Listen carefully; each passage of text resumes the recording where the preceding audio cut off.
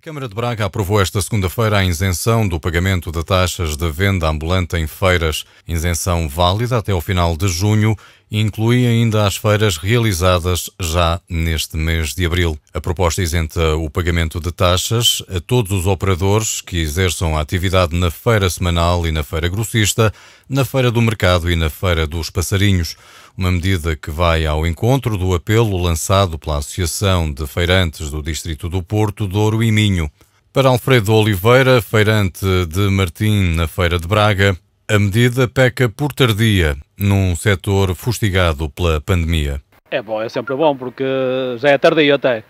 Porque nos outros municípios já, já quase há um ano, desde que começou a pandemia, que isentaram-nos de taxas, principalmente como Viana do Castelo, Ponte Lima, a caixa, as taxas estão isentas, como em Barcelos também. Aqui nunca se suspenderam, agora aqui é a primeira vez que estão a fazer isso. Para Pedro Rede, que há anos que vem de Armamar todas as semanas para a Feira de Braga, este é um bom apoio para os feirantes. Penso que foi uma boa iniciativa, visto que estamos a passar uma fase complicada. Uh, penso que foi uma, uma boa iniciativa por, por parte da Câmara e que é uma ajuda também para nós. Para quem vem de longe, é uma, é uma grande ajuda.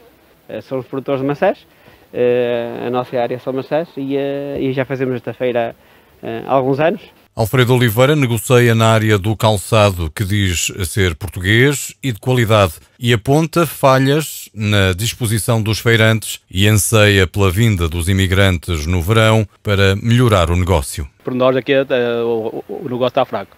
Há pouca, pouca aderência do público, do povo aderir às compras. Aqui, nós estamos aqui mal colocados também aqui no, no sítio. A feira está toda separada uns dos outros e uh, não espero isto melhoras disto. A feira devia estar mais unida aqui, estamos muito separados uns dos outros. Diz que vão criar um novo espaço aí, vamos ver como é que vão fazer, eh, vão organizar a feira. Vamos lá ver. Ver, isto nunca mais vai ser como era antes. Vamos lá ver, os imigrantes também, vamos ver se eles vão poder vir, os imigrantes cá, isso ajuda muito, bastante. Para o produtor de maçãs de Armamar, o negócio até nem corre mal e quase que dá para compensar o tempo em que esteve parado. Tem sido bom. Uh, penso que uh, dá para compensar uh, os dois meses que temos parados e tem havido uma boa aderência à feira.